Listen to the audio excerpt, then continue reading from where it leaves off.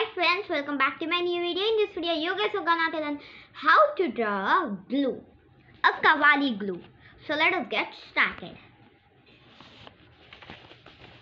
Visible? Yeah. So first, draw like this a rectangle box.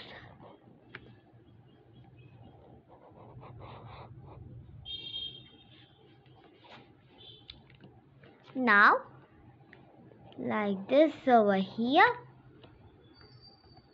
and a tip over here.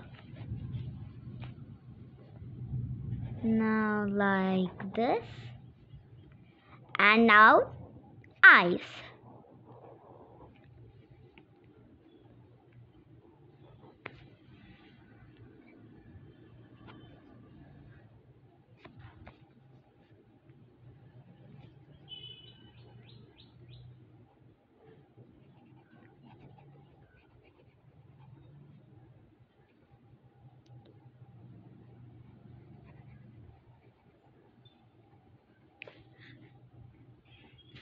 Da da! It's completed, but a final step is left. You have to again draw the outline for this box.